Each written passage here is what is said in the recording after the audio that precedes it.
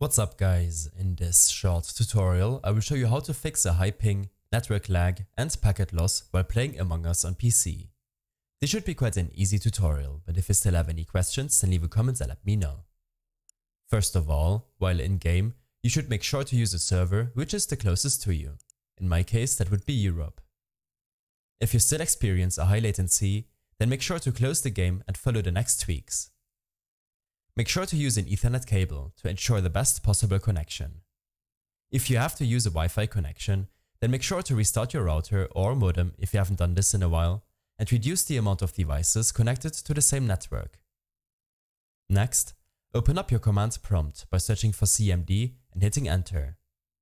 The next two commands are listed in the description below. Ping google.com. This command will check your latency and packet loss to Google servers.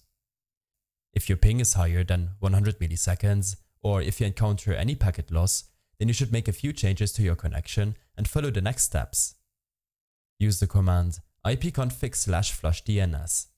This will flush and reset the content of your DNS resolver cache. Using this command will in any case improve your latency issues. You can now exit out of your command prompt and open up your task manager. Here, navigate to your resource monitor as you can see in the video. In the Network tab, open the processes with network activity, and after a few seconds you will see every process using your network connection. This might be your browser running in the background, Steam, or a download bottlenecking your connection. I suggest you to only enter processes which you know won't break your operating system. Below, you can also preview your network utilization in percent. In your Task Manager, go to the Startup tab to prevent other programs from starting up on system boot.